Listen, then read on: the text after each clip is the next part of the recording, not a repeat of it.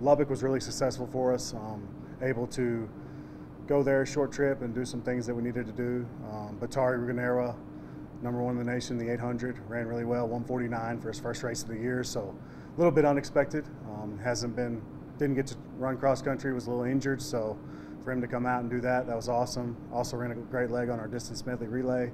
So I would say Batari was our, our uh, definitely our best performance at Texas Tech, along with many others. But uh, nationally, I think uh, he really put himself in the national meet there in the 800.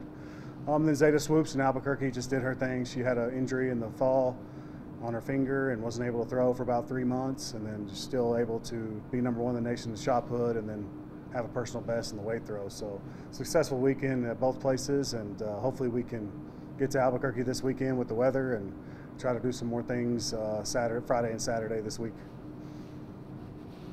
Has nothing to do with how your athletes perform, but last week they made the announcement there was going to be an indoor, that indoor facility that they were going to build and y'all were going to get to use. You may or may not be here when that's done. Yeah.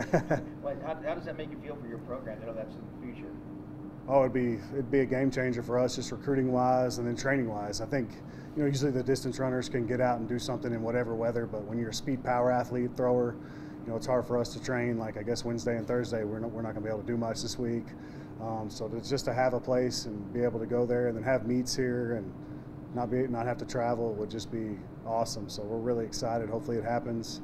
You know, it's been a decade probably I've been here. We've been talking about it. So hopefully it ends up happening and we're able to uh, have that indoor facility and bring indoor track to Amarillo. And I think it'd be good for our, the community and high school kids, high school meets, and just give everybody the experience of indoor track, which is which is awesome to watch. So with this meet um, coming up, kind of what does the preparation look like as far as rest and what are you kind of expecting? Well, we'll, we'll try to do something today since it's going to be pretty nice, and then we'll uh, see what the weather holds. And we leave Thursday, so hopefully we can get there. But the biggest thing this weekend for us is we have a multi-event, so a heptathlon and a pentathlon. So those don't happen every weekend. We need to get those done for our athletes, and then we'll have a few of our other athletes that are coming off COVID or haven't been able to run. They'll run. Uh, Benjamin Azamati will run the 60, hopefully. So try to get him going. Um, so it'll be a big weekend. Just hope we can get there. How difficult is it with all these road trips? Because that, that was one of the point of contentions with Mr. Groom last week. You know, you're used to it, but it's got to get old after a while. Yeah, well, it's it's it just gets old as far as you know. Usually we have to go to Kansas a lot, so Washburn has a track, Pittsburg State, so just eight-hour drives every weekend just gets pretty old. But this this year we've been able to go to Tech a little more, um, and then we've been able to go to Albuquerque, which isn't too bad.